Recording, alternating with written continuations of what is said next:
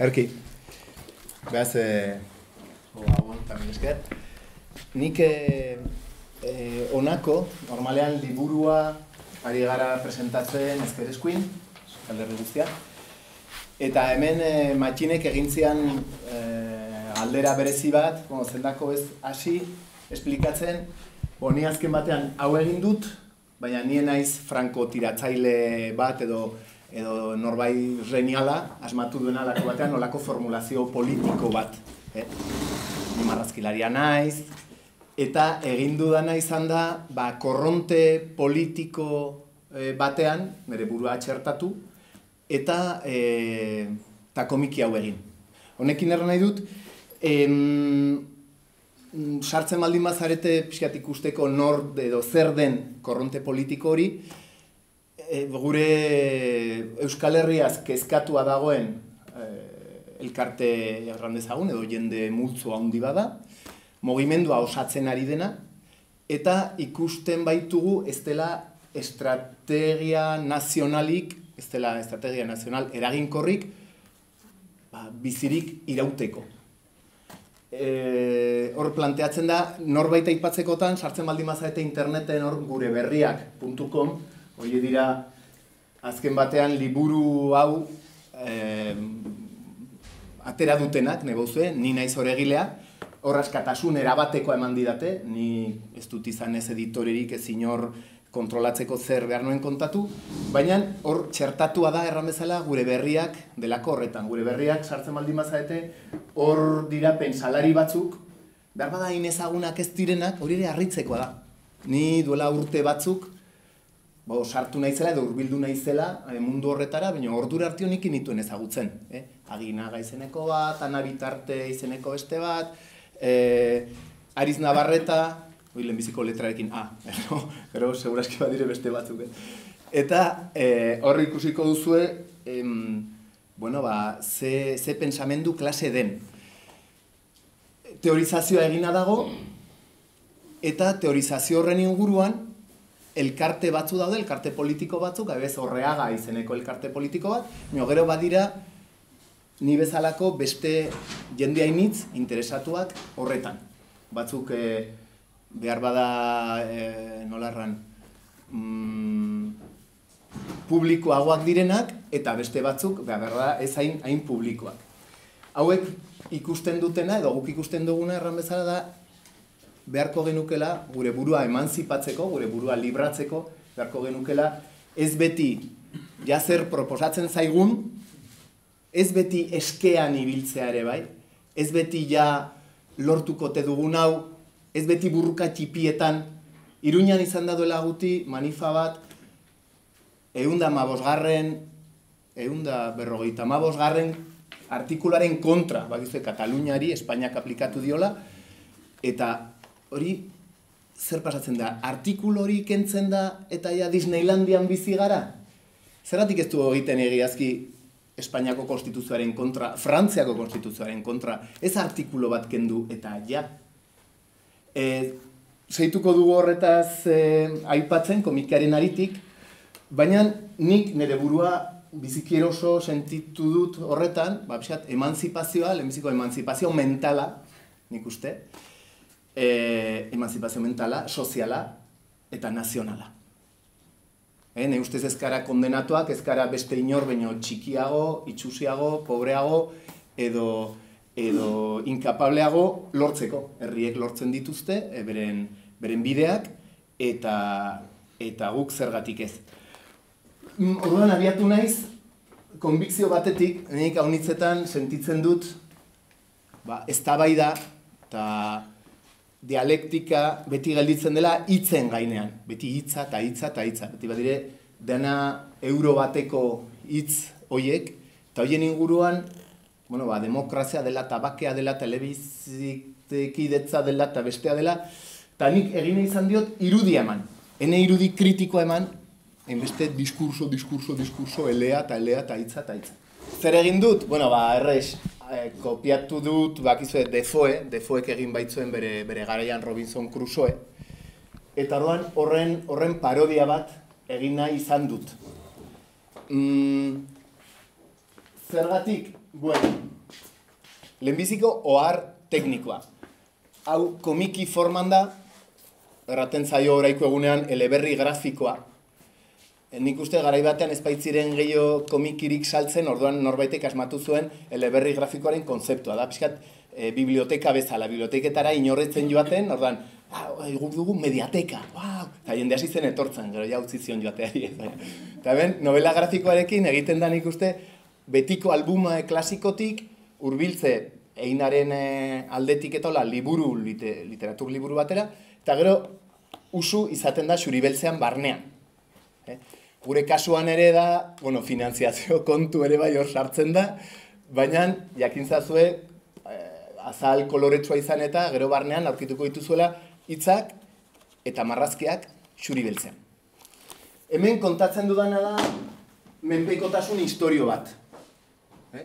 Sumisioa, modizue, mamiferen artean, sumisioa ematen aldela postura eta manera diferentetan, Defoek kontatzen du nola ostiralek eh, aitortzeko krusoeri bere menpekotasuna, nola belauniko eman zen eta hartu zion zangoa krusoeri eta eman zuen bere buruaren gainean.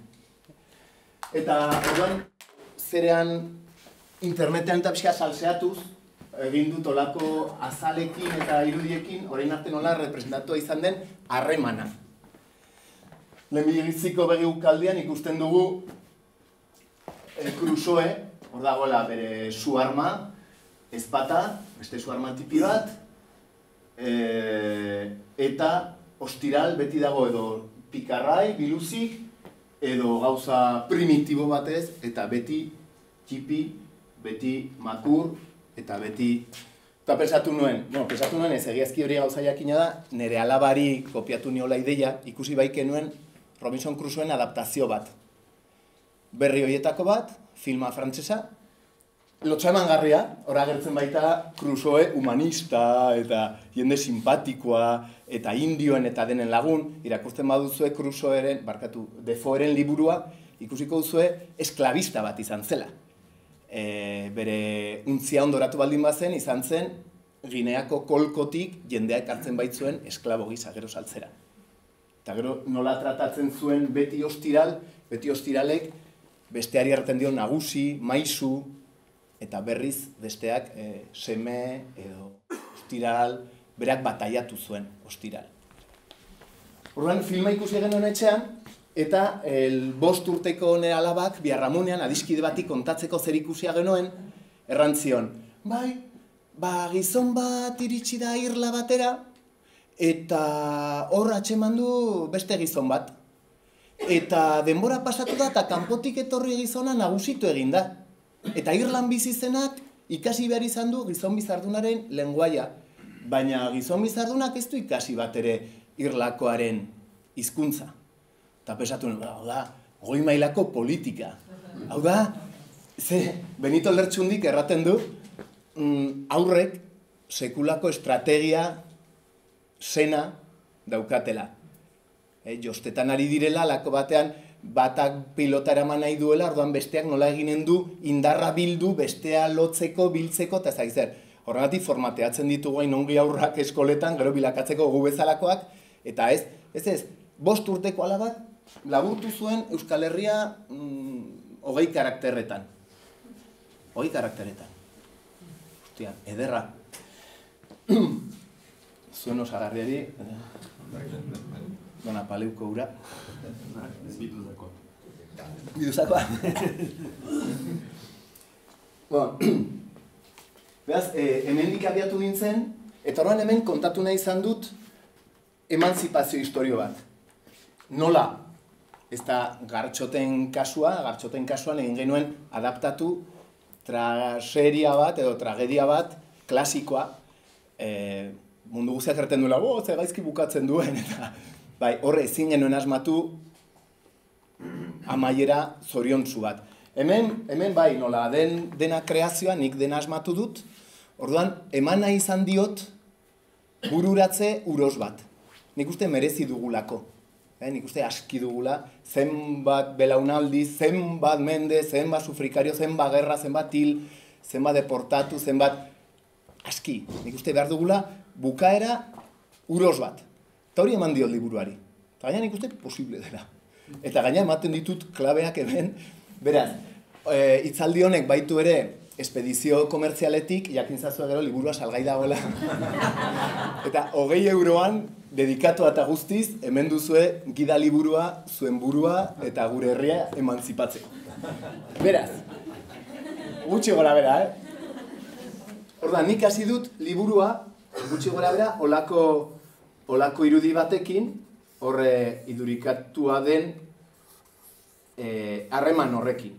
Ez, kanpotik, etorri, etorri sistema, oso ongi armatua, eta bertakoa, hasiera batean, e, sumisio, e, errandezagun, konkista militarranen ondotik, gero etortzen den gainateko guztia. Honekin lotua zer nahi dut?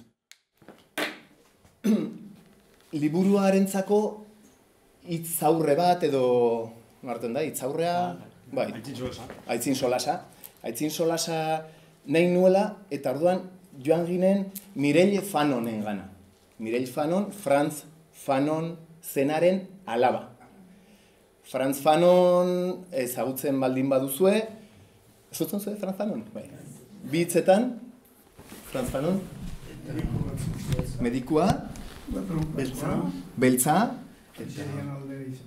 Algerian alde izan zen. Sortzez nongoa zen? Martinika. Martinika, bai, antilletako beltza. Medikua, Algerian suertatu mediko frantses gisa hartatzeko hango zerak. Psikiatra, eta? Esklaboetaz, eta biziki biziki idatzi du men, mendekotasunak ze ondorio psikologikoak uzten dituen herri menderatuetan. Eh? karagarria da, nik uste, nola erran, mm, Euskaraz nik uste badela itzulpen txarren bat garai batekoa, frantsesez bada lortzerik, eta espainolez ere bai, nik uste hori ere badugula lan bat egiteko Euskaraz ematea, e, arritzekoa, naiz eta mintzatu beltzez, naiz eta mintzatu erda Algeriaz, nola Euskaldunak askotan ikusten duen bere burua hori islatua. Eta gaina, nola erran, bostu urteko ene alabak bezala, bat ere kompleksuri gabe, gauzak diren bezala, enetako, nik e, sartu baino amar minutu lehenago, itzultzen ibili naiz ohar pare bat, pixkat irakurtzeko Franz Fanonen diskursoa nondik nora joaten alden.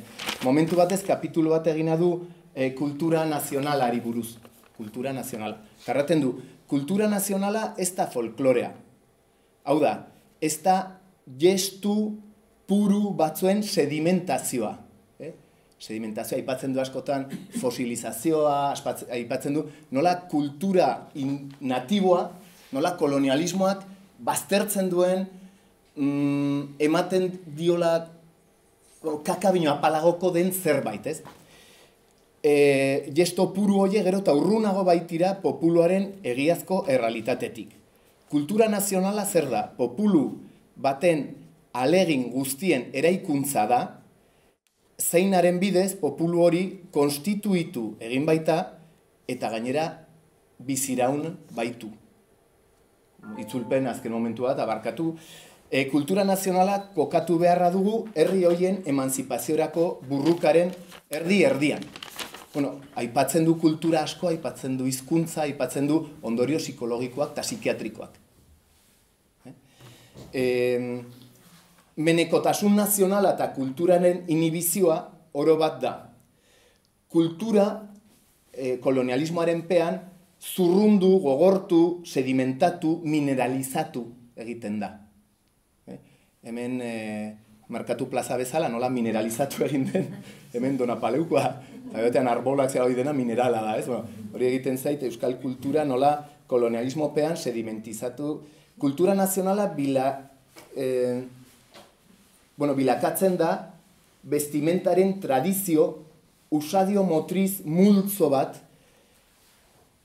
eta, eta bar. Horren bestez, liberazio nazionala eta estatuaren arrasortzea dira kulturaren biziberritzeko baldintzak horren inguruan luzaz, luzaz egiten du, e, baten batek egin errandit. Jo, eske, kolonizazioa aipatzea Euskal Herrian, sobera asko haute den, hitza hitz potoloa da, gogorra da.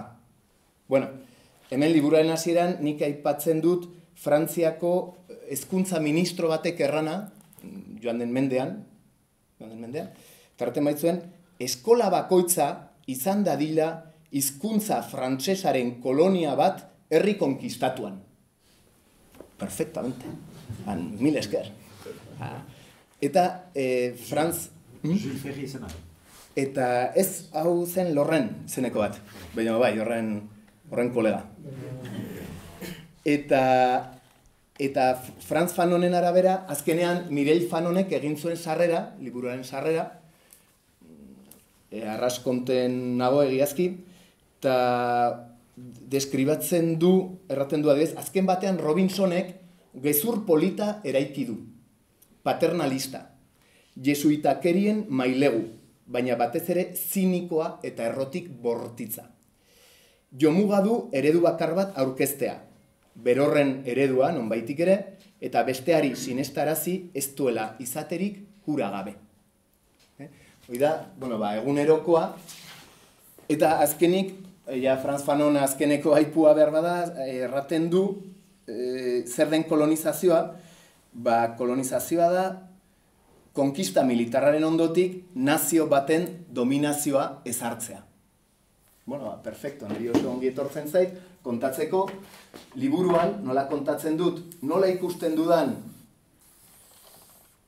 e, Euskal Herria edo Euskaldungoa, urran nahi duzen bezala, horreiko momentuan, sumisio erabatean, erabateko sumisioan, eta horren liburuan, liburua kapituloetan banatua dago e, niretako aski terapeutikoa izan da, segurazki Franz Fanonek e, idatziko luke zerbait jakin eta on, nik idaztean, egiazki o, liberatu egin naiz, gauza asko berbadaz barnean nituenak eta zaleratu ditut, aktualitateak ere manatzen baitu gauza batzuk berriak txertatu ditut, Tarroan batean, aipatu dut, eman dezagun, e, bizikidetza.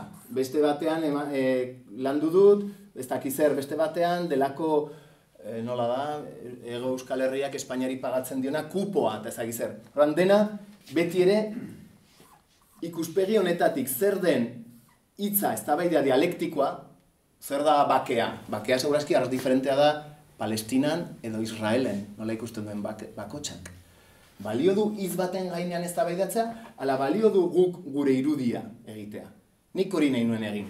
Gure karikatura, gure egoeraren karikatura bat bakigu espainolek nola ikusten gaituzten, bakigu frantzesen nola ikusten gaituzten, bueno, ba, nola ikusten du gure burua, eta nola ikusten ditugu ere e, auzo ahalzu horiek, ez? Ja, auzoak ez direna, ja, gure, gure baratzeraino sartu direnak.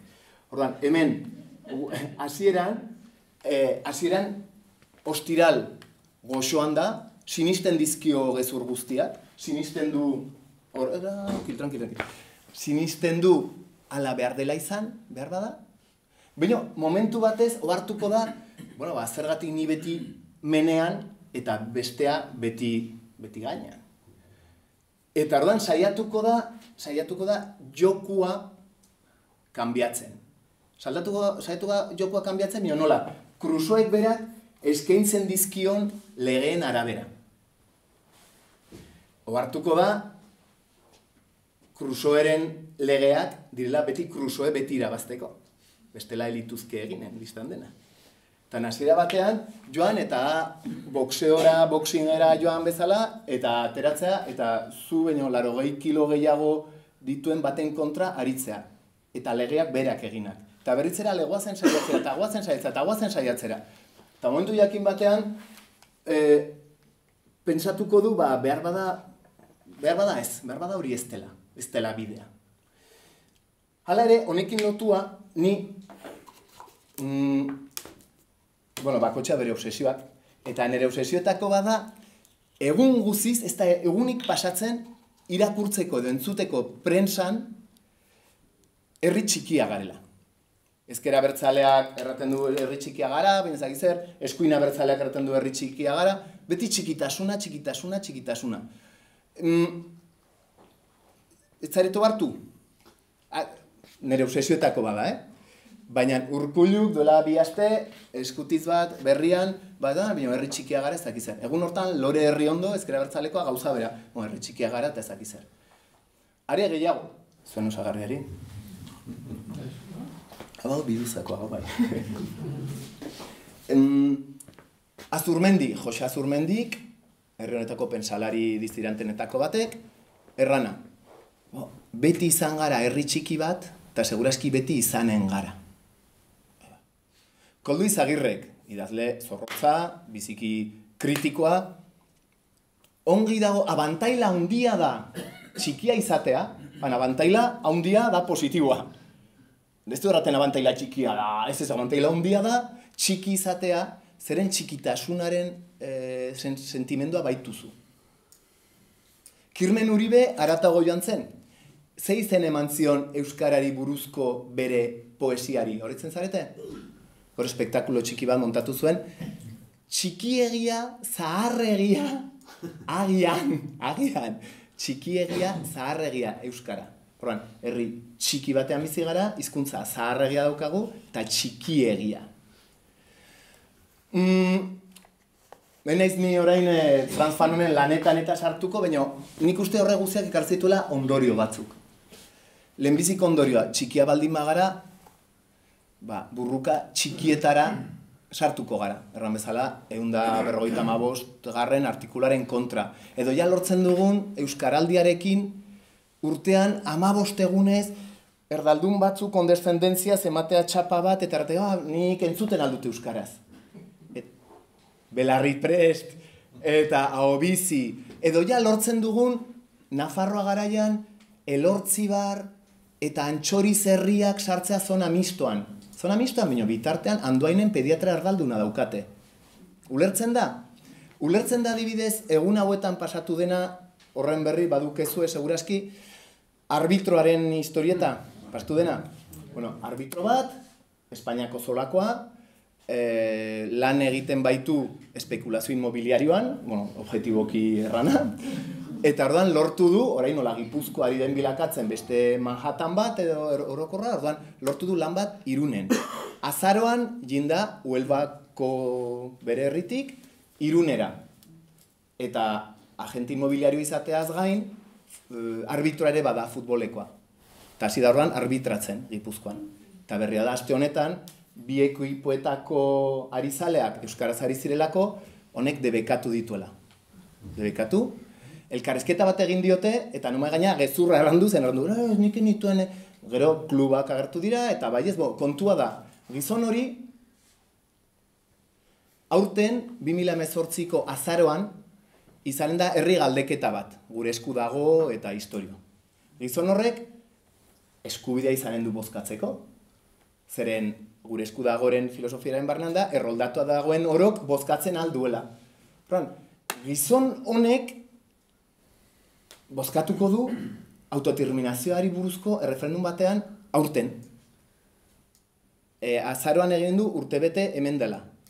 Zeparatzen da, estaduaren legeria guztia alde duela eta arbitroen federakuntza espainola biztan dena bere sustengoa eman dio eta hori guztia babestua dago. Ulertzen da zer nahi dudan? E, irunera joan gabe ere, hemen eskualde hauetan, izan da beste kaso bat, bueno, ez hautzen duzu eduari gabe, mediateka batean, baizu biblioteka, mediateka.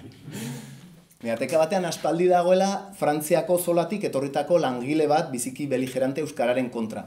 Eta hor dagoela urtetan eta urtetan eta urtetan gauzak beti frantsesez antolatzen. Herriko etxeak lortu du lanpostu bat, Euskaraz gauzak aitzinarazteko. Egin dire gauza politak.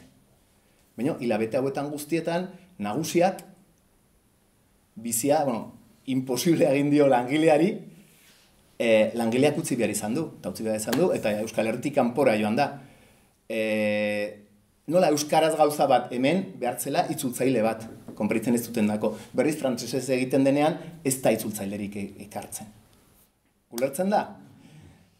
Bo, ba, hori mm, hemen ostiral ohartuko da Crusoeren legeriarekin ez dugula deus egiterik ohartuko da uarte batean bizi dira.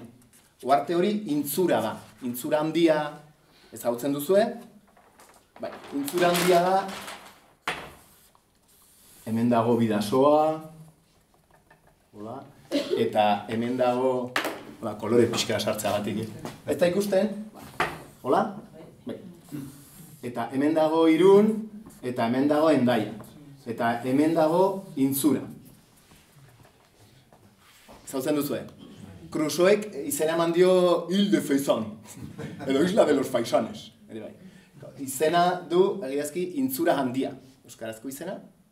Eta izan da... Txipi horrek. Txipi, txipi, txipi. handia, guretako handia da. Eta gainera urtetan, urtetan eta mendetan igual, izan da munduan zegoen kondominiorik txikiena eta zaharrena.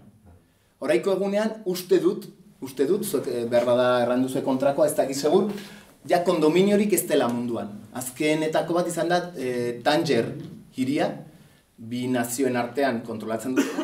Gelditzen dena da, Euskal Herri erdi erdian, uarte hori. Eh? eh? San Martiu uartea. Hala da? Bai, parte bat, eh, eh, holandesat, Ba, bino, bino, hemen ez da parte bat eta parte bat, hemen urteko, urteko seila betez Frantziako armadak kudeatzen du, eta beste horren bestez Espainiakoak. Kondominioa da, oxe, ba, ez, ez, ez da zatitzerik, ez da seila betez Frantziarena eta seila betez Espainiarena. Eta hain zaidan, joa, perfecto, hau gure, gure absurditate hau kontatzeko, zein nobe, pentsa da eta Euskaldunok ez dugu ez hor bozarik, ez dugu, ez deus, ez dugu deus manatzen etxean bezala Euskal Herrian, bezala, netako perfektua kontatzeko gauza obsoletoena munduan eta injustuena, eta horrekin bizi gara, eta normala egiten zaigu, e, ba, Euskarare baztertu izatea bezala, gure etxean, ze bizkarzako ekartzen dugun, gure gure ze bizi izan duten, eta hola. Horan, hemen eman dut, e, hemen kokatu dut e, gure, gure historia, Orduan, poliki-poliki, erran bezala, ostiral ohartuko da mm, honen bideak ez direla. Honen bideak dilera beti garaile ateratzeko krusoe bera. Eta momentu batez, ezagutuko ditu irla, intzura handian, bizi diren beste biztanle batzuk. Beste biztanle horiek mm, emanen dizkiote ba, beste, beste datu batzuk. Mm, palmaga izeneko lekua asmatu dut nik uarte horretan, palmaga izen asmatua da, biztan dena, baina palmaresak, portuguesez os palmares, horiek izan ziren kolonia denboran, Portugalek bere kolonia guziak eta zituen denboran, hiri, hiri erresistenteak oianean. Horra eskapatzen ziren edo esklabu beltzak, edo batzutan bertakoak ere dominazioaren eh, gandik eskapi, eta beste batzutan ere bai, txuriak, europarrak eta hola, edo zinarrazoaren gatik, arat. Eta batzutan iraundute mendetan erresistentzian. Batetik erresistentzia onge antolatua zutelako, leku gordean zirelako, ez dakigu, eta oso gutxi dakigu beren antolaketa sozialaz. Eta famatuenak ni dakidala izan ziren, eh, bat palmares eta bestea makakos. Eta gustatu zitzaidan ura eta pesatu nuen, perfectamente, ba, hor situatuko ditut erresistentzian direnak. Eta momentu jakin batean, ostirali, eman dizkiotela informazio batzuk. Hau baldin bada intzura handia, hori intzura handia, Krusoek zer egin zuen, etorri zenean, intzura hundira. Bueno, ba, lehenbiziko gauza, egin zituen, Franz Fanonek erraten du, ez dela kolonialismo bezain, kolonialismoa bezain e, separatista haundirik. Eh? Torri zen, eta zuen orduan, kendu egin zizkigun gure instituzio subiranoak, gure instituzio nazionalak, eta eman zizkigun bere erakundeak. Erakundea zer da? Erakundea da, inora ez doan hitz bat. Konstrukzio falsu bat, nazioartean erakundea ez da deus. Errepublika bai, instituzioare bai, presidentea bai, lendakaria deus ez da. Tora, gu, entretenitua gara ustez, eta baditugula hiru erakunde, gureak direna, hiru lendakari ditugula, eta poliki-poliki joanen garela, ah, poliki-poliki joanen garela, hau, Robinsonen arautegian da. Ez zaituzte deprimitu nahi, baina bai baionakoa, bai, bai gazteizkoa, bai iruñekoa, horiek, bi estatuen terminal informatikoa dira. Dudarik ez da. Ongi etorri gure mundura, baina... E... Hemen, erakundeak, erakundeak, orduan, erran bezala, badugu e, jaurlaritza, badugu aglomerazioa da, iepa, edo, edo, hori. badugu osakidetza, badugu erzaintza, badugu izen falsu batzu gure burua trompatzeko, uste dugu, badugula zerbait, deus ez dugu. Ez dugu, erran bezala, aireko espaziorik, ez dugu parlamenturik, ez dugu boteririk, ez dugu. Eta hortatik etorri zitzaidan ere bai, erratea, bo, a ber, gauza zer da, haundiak eta txikiak. Behar bada, ez da, hor ikusi ditugun ostiral guztiak, behar bada ez dira beste abino txikiagoak. Zer gertatzen da, hor da, angelu eta perspektiba kontu. Botere eta indarra. Gainean denak ikusiko du bestea txiki. Tarbaldin bazara, ba, ba, ba, beste ikusiko duzu. Handi, baina horrek ez du erran nahi, ostiralek noizbait zutitzen denean eta bizkarezurra zutik ematen duenean, hor ja, zer dizain da, txikitasun handitasun, hor indarra eta botere kontua da. Ez da txikia garelako, bera, e, Iruña situatzen duzu gutxi gura bera mapan, bai, Eurasia, bueno, hemen, hemen da Bayona, hemen lendakari bat, hemen beste lendakari bat, hemen beste lendakari bat. Bo, Iruñan, duela urte batzuk, antzo nagusiaren e, mende urrena baitzen, zen osagarriari, afaria oso bat, Eta e, antzo nagusiari egin diote monumentu bat. Bo, Euskaldun batek zerbait pintatu baldin badu munduan, ba izan da Abderraman irugarrena, eta antzo nagusia. Antzo nagusia, bere garaian, Euskal Herri guztia biztan dena, eta gehiago, bo, botere, indarra hori guztia. Ikusten baldin mauzue, argarai parkean, argarai zeneko parkean, arga garaiko horretan, ikusia duzue monumentoa? Bueno, prezio berean, deskribituko dizue nolakoa den. Gizon bat, ikusiko duzue, ez koskarik ez deus, ez du, bakizue, ni ajatziun izan naiz, eta Napoleon, o, Napoleonek hartzen alako koska handi baten gainean, zaldia, hemen ez da zaldirik, ez da koskarik, ez da deus, biziki demokratikoa, eh? norberaren goratasunean, ongi, agertzen da gizon, bizardun bat, ongi, ez du deus bizarduen kontra, eh? eskua hola, ongi, ez du, ez ezpatarik, ez koroarik, ez aginte makilik, ez deus idurikatzen duenik boterea. Deuse, gizon bat, profeta bat, izaten atzen Gandalf, bino Gandalfek batzuen bere armare bai, Obi-Wan Kenobik batzuen bere laserrare bai, honek pitxik ez du, ez du ez da kuliera bat, e, deus ez du, netako irakurketa, ne, iduriak importantea egiten baitzaizkit, irudiak zerraten du, deus ez zarete izan, ez da antzo nagusiaren garaian ez ziten nagusi.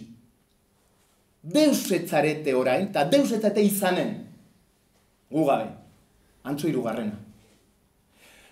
Itzaldietan, oh, eta bide batez, eh, norbaitek nahi baldin madu zerbait galdetu edo kontra egin edo la, ni content. Eh? Egun hauetan, ari baikara liburua mugiarazten Euskal Herrian barrena, gauza bat egin zait deigarri.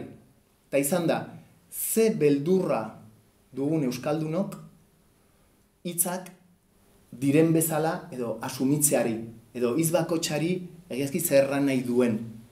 E, nik aipatu adibidez, ba bai, ba, nik nahi dut, gure baratzean, agindu, etxan, agindu.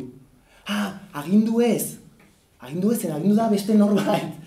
Ta, ja, ja, ez ez nagusi, nik, antzo irugarrena, antzo nagusi, nik etxean nahi dut nagusi izan. Hei, bino, hori ez e, erran erabaki, erabaki nahi duzula etorkizunean zer egin behar den. Ez, ez, ez. Zuek e, gure etxera etortzen bazaete, komit zaudete ez dena batera behar da. Baina, sobrazki, ene asturak, ene legeak, ene normak izanen dituzu, normal den bezala, nik zuenean bezala. Hemen Euskaldunok bitxia da. Begira, e, katu, Hora, hemen dago Katalunia, hemen garagu, eta hemen dago Galizia. E, bale. Pentsa, ze zientzia zer den, eh? Nola den ordutegia, ordu meridianoak eta Greenwich eta beste atola, hemendik pasatzen da, hemendik pasatzen da meridiano batek, or, or, orena, orenarena, eta egiten du, jo, hola, hola egiten du.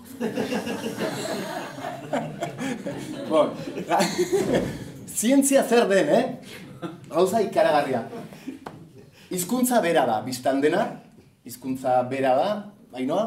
Bera da, hizkuntza bera da. Ze pasatzen da? Eman dezagun, hemengo, hemengo persona bat, hemengo jende bat, goiz guztiz jeikitzen da, edo eratzen da, nizuen bezala, deno ditugun frustrazio eta kezkekin, baina gainera kezka linguistiko batzuekin ere bai. Bo, jan lehiz ostatura, eta, bueno, ja euskara ezagizer, ja norbaitek izian erranen, jo, que hablame, que no te entiendo, edo ezagizer, ez? Hemen, bizi denak, oeratuko da, edo jeikiko da, frustrazio, ba, dentista, hipoteka, eta ezakizer, baina, kezka linguistikori gabe, joanen da berdin palazio presidenzialera edo edo ezaize ministeriotara ez dakin nora, nehor etzaio etorriko, erratera, ei, hablame en España, tia, etzaio, tranquil bizi alde hortatik, ze, ze diferentzia dago, hizkuntza bera da, ordutegi diferentea zen, zientzia alaba, eh? Zer da, honek manatzen duela bere etxean, eta honek ez, hau hemendik manatzen dute. Hoi da diferentzia ze frustrazio klase dugun edo ez dugun. Ta hori da, nik ikusten dudana idez, txikia garela, zaharregia garela. Ze pasatzen da, txikiegiak baldin magara adinez, edo zaharregi. A ber, txikitasuna ez da balio positiborik. Ez da balio positibo bat txikitasuna, nere ustez. Pediatraren gandik nork etorren nahi du entzunez.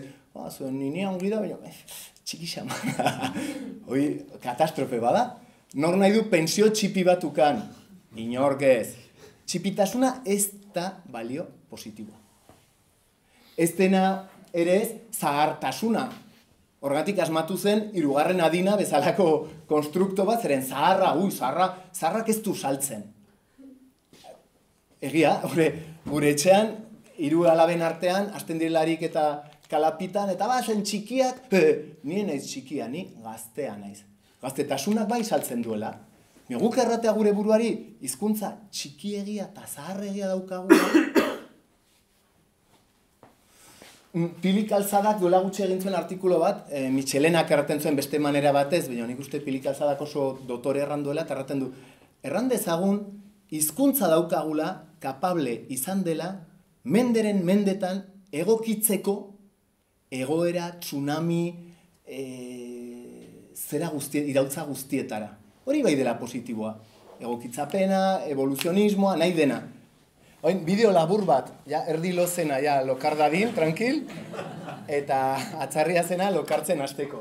Laburra da, ez da ongi entzuten, baina... Bai, bai. Ah, bai. Ongi entzuten da, kusi autoestimua zer den, eh?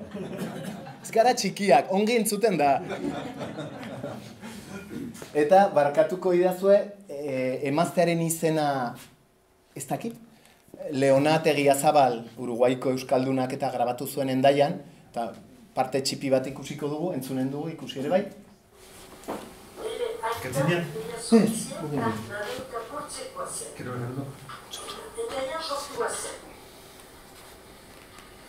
Beraz, aitak eraten zuen beti, aitak etzakia frantzesik nire aitak.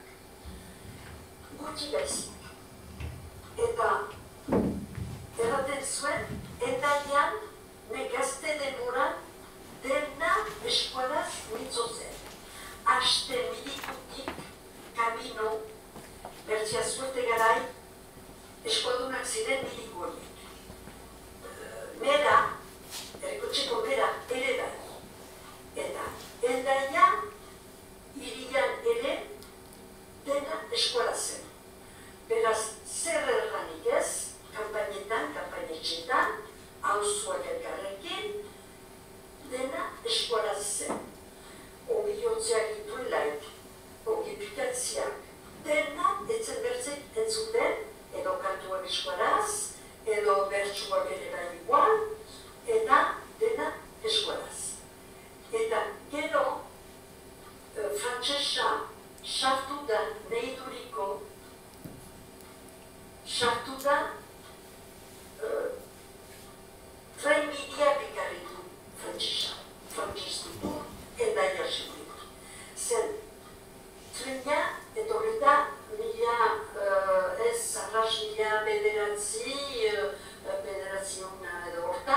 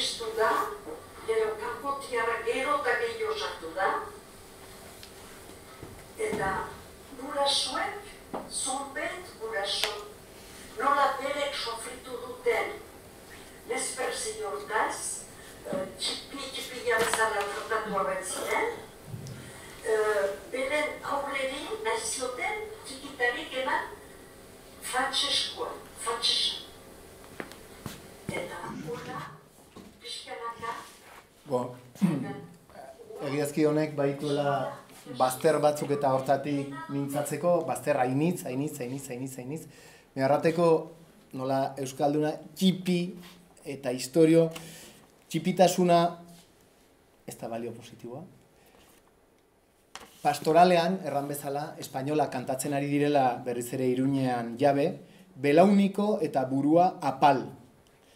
Meneko izan ditean ezpatagabe, antzo nagusia bezala, humil, txipi, ahul eta ahalke. Baskoa ala denean da gure bake. Perfecto. Hori egiten zait, e, txipitasuna rebindikatzen baldin bagara ezpatagabe, Espainiako patroina bakizu zer zein den, e, nola dau, e, kompostelakoa, done jakue edo done jakobe, leyendaren arabera beti agertzen da moroei, musulmanoi, e, burua mozten. Matamoros. Matamoros izan zen Espainian, gero mata indios Ameriketan, eta gero mata navarros konkistan, Nafarroen kontrakoan. Orain bakizue, atxeman dituztela aztarna batzuk Iruñeko gazteluko plazan, Fernando Aragoikoak egin araziko gazteluarenak, eta gazteluaren izena zen Santiago. Santiago. Hor, Santiago Matamoros, behar bezalako patroin bat, animaleko ezpata, ez? E, Jean d'Arc nola idurikatzen da, bere garaiko, bere garaian egina izan den portret bakarrean agertzen da, emazte gazte bat, animaleko ezpata batekin. E, eta guk, antzu irugarrena, hor dugu. Nor dugu Euskalduno, zein da Euskararen patroina? Nor? Ez, Euskara, Euskararena, zein da Euskararen nazioarteko eguna? Xavier. Xavier. San Francisco Xavier. San Francisco Xavierrek garai hortan, Joana Etxarte kontatzen duen garai hartan, espainolek Nafarroa sunsitu, Garruze, eh, Ainiza Mongelose, Nafarroa guztia sunsitu, San Francisco Xabierren etxea arrasatu, familia aita eta eta anaiak kondenatuak hiltzera eta exiliorateko bidean har, zer egin zuen Xabierrek? Etxean egon, defenditu bere burua, bere, ez? Antipodetara joan zen, Japonia eta leko hietara, salbatzera, konpontzera besteren etxeak. Beren etxea suntzitua zutan, hori dugu guk gure patroina. Eh? Etzen nahi zen, eh, kastelarekin joan, joan zen. Bai, baina hangoak izorratzera, hangoak izorratzera irakurri behar dira, hori oso interesgarria da, irakurri behar dira, nola inkisizioa sarrarazi zuten portugesek goan eta eskualde horietan, eta nola bueno, jendeak iskali egin zuten, eta bai, portugesekin joan, baina etxetik eskapatu. Zenbat etxetan Euskal Herrian izan ditugu guk gure etxean, zagize, osaba, otxo, txantxa, misionez, zerora, urrunera joanak. Adizkide bizkaitar batek erraten zidan, bai, gure otxo zarra jaten zari trenez, guxeratera, indiarat, e, trenetik beti erraten zidan, bueno, eta eutxi euskarari, mutilok, eutxi, indiara.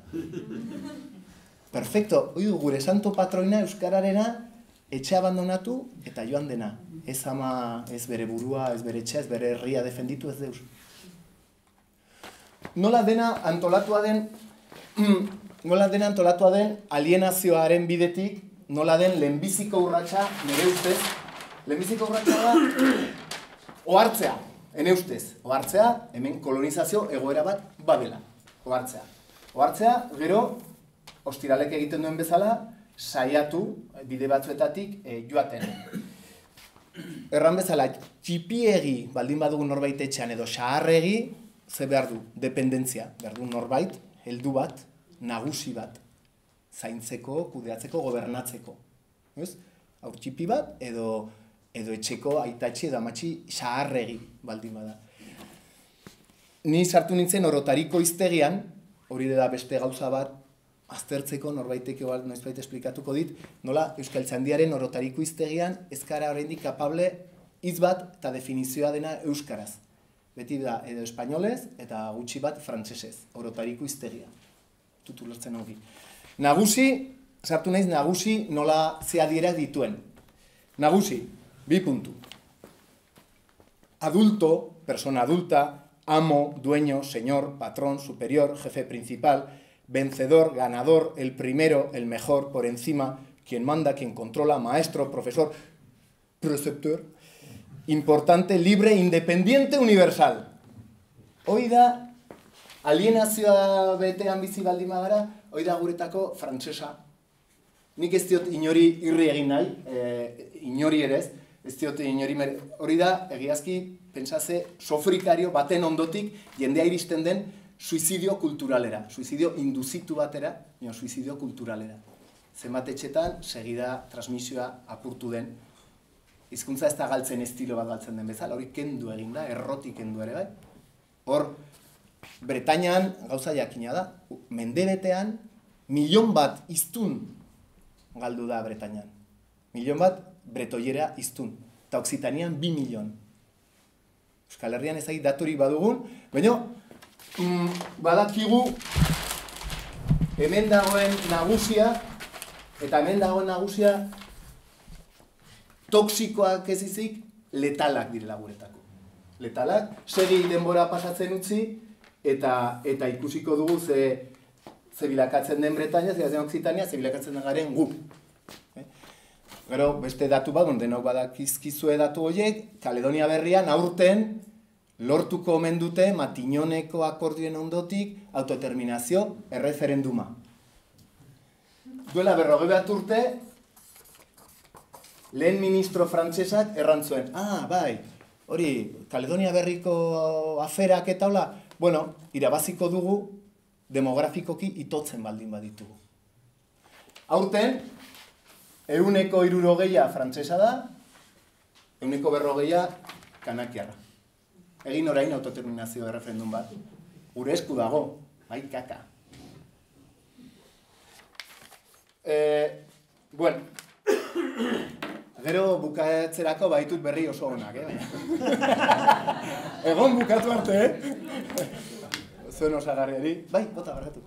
Larogeita sortzian egin zuten lege bat, eta lege hartan egiten zen, eh, eh, hauteskundeetan parte hartuko zutela, eh, eh, Kaledonian sortu ziren, hori ez dute errespetatu. Eta bada legea, eta eh, konstituzio batzordea, ez zuen, eh, eh, normalki ez da, ez da konstituzionalde, Mhm. debekatua da. Bai, bai, bai.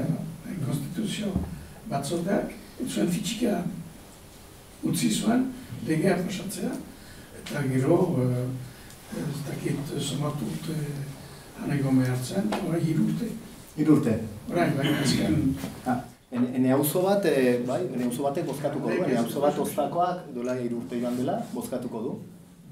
Han, ja, iruneko arbitro horrek bezala, bueno, irunen bizi den, espainol horrek bezala, bozkatuko du gu zer izanen garen.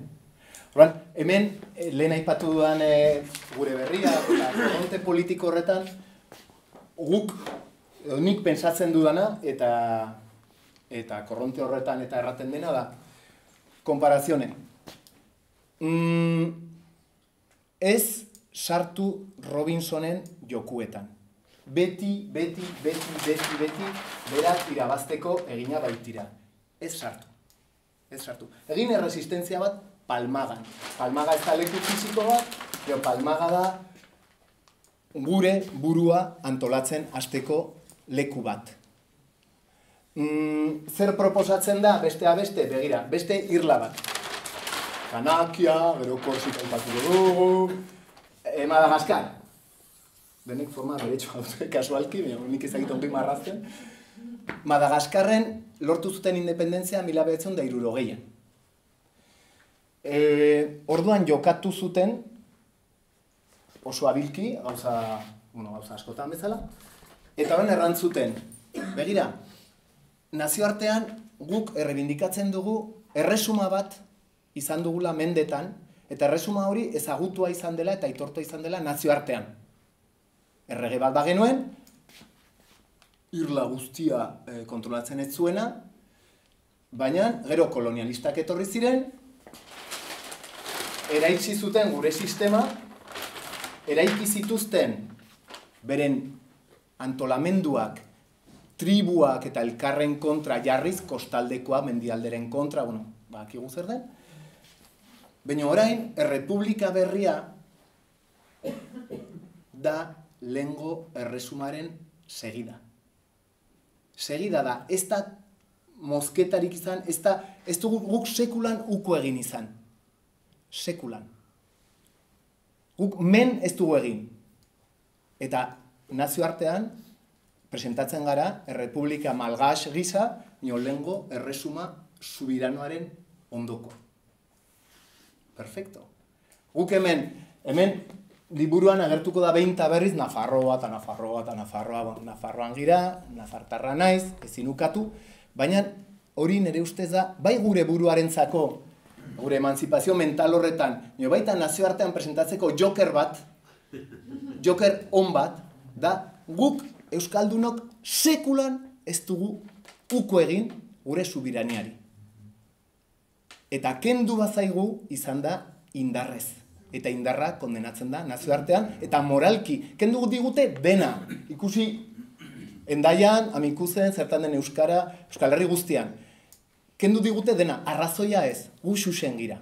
Xuxen. Nio, xuxen dira ere bai, e, Australiako bertakoak. Eta xuxen dira kitsuak eta imarak, baina deus ez dute kontatzen munduan, ez, ez dute botererik, ez dute indarrik, guk orei ez dugun bezala. Zein da, hemen, irudi baten bidez, Crusoek kontatzen du nola xok handi bat izan zen, Irlantzela, alako batean ikusi baitzituen, e, erexa batzuk, norbait, oinutzik, oinutzik erratu zuen, bai, hortu, hortutzik, ibilkizela, eta horren Crusoe ohartu zen, "Oh, etzela bakarrik Irlan. Nik hemen kontatu nahi izan dut, oso irudi polita egin zitzaidan betitik, nola ostiralek bere bidea segitzen duela, talako batean Crusoe pasatu da mozten, eta geroztik ostiralen berririk ez da nazioartean. Orai, gauzarik alkemangarria, mintzo baldin magira nazio artean Euskaldunok da Macronen ahotik. Eta Espainiako erregearenean. Eta Rajoyren ahotik. Eta nik nahiko nuke munduan boz bat izan deliberatzeko hainbeste gauza, ezta. Ez dugu, ez kara, ez dugu indarrik, ez dugu indarrik bildu berriz ere, baina liburuen bukaeran bai. liburuen bukaeran burdinak, esklabotasunaren burdinak enduta, utziko diogu Robinsoni tranquil bere bideari, eta guk gure bidetik segituko dugu. Eta erran bezala nik uste posible dela. Bueno, bizpairu gauza, gauza gehiago nahi bauzue, eta gero nahi bauzue zuen aldin, etako plazerra. Gauza bat, Katalunia, segurazki gaia nahi bauzue agertuko dugu, eta bakotxaren iritzia eta zertan den, eta hola. E, diskurso bat, beti, diskurso bat, bla, ba, hemen, kontatuko dut, eta itzuliko naiz, eh, Katalunia berez.